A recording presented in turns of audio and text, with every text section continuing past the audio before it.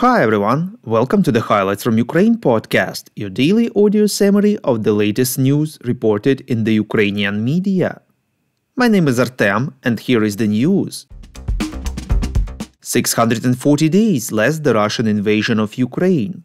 Yesterday, the Ukrainians remembered victims of Holodomor of 1932-1933, an artificially created famine caused by the Soviet authorities that killed millions of people in Ukraine. President of Ukraine Volodymyr Zelensky said on the day that Ukrainians remembered those millions of innocent victims.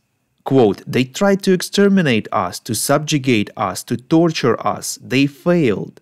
They wanted to conceal the truth from us and hush up the terrible crimes forever. They failed. They wanted to confuse us, to mislead us, to make us not believe, to doubt, to forget, and therefore to forgive. They failed. And today, with utmost sorrow and respect, we honor the memory of millions of our people, unquote, said Zelensky. The president thanked all those countries who recognized the Holodomor as the crime against humanity and the Ukrainian people. Ukraine hosted a summit Grain from Ukraine dedicated to the issue of food export from the country amid the Russian aggression, reports Ukrainska Pravda. Volodymyr Zelensky said that Russian President Vladimir Putin would subject Ukraine to another famine akin to the Holodomor of 1932-33 if he could.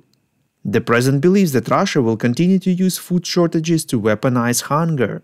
He recalled that the Russian fleet blocked Ukrainian seaports on the very first day of Russia's full scale invasion, effectively cutting off food exports from the country, which play a critical global role.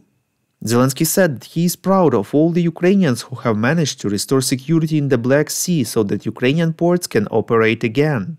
The president said that Ukraine considers the establishment of a grain corridor without Russia to be one of the most significant achievements of this year and is also working to ensure the safety of the ships that use this corridor. He explained that Grain from Ukraine humanitarian initiative has brought nearly 40 countries and international organizations together to help the countries that are suffering the most from food shortages.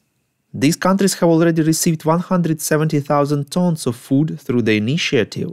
Zelensky also said that a ship bringing grain to Nigeria was about to set off from Ukraine, bringing relief to nearly 400,000 people.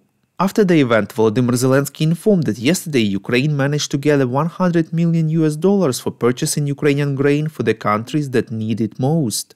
He expressed hope that this figure will double by the end of the year.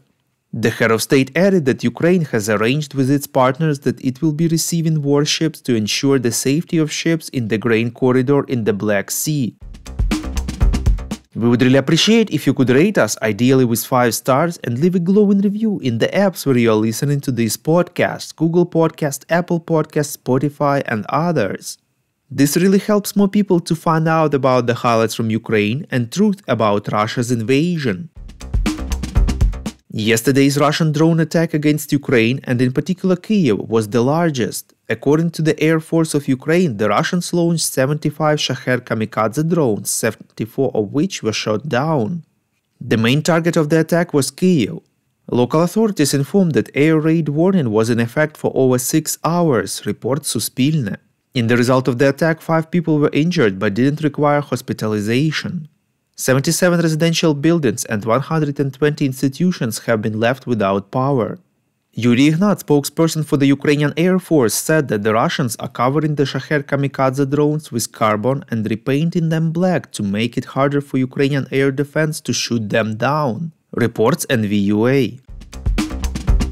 This night Russian authorities informed about a mass attack by drones, a total of over 20 drones were recorded, reports Glavcom.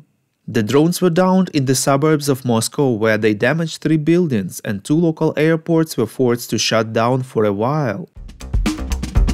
Thank you for listening to the Highlights from Ukraine podcast. We're a commercial initiative of just two people and we need your help to grow. Share information about the podcast, rate us in the app, subscribe to our Patreon. With your support, we're getting better. We call on you to demand from governments of your countries to impose the toughest sanctions possible on Russia and its citizens to stop their invasion of Ukraine.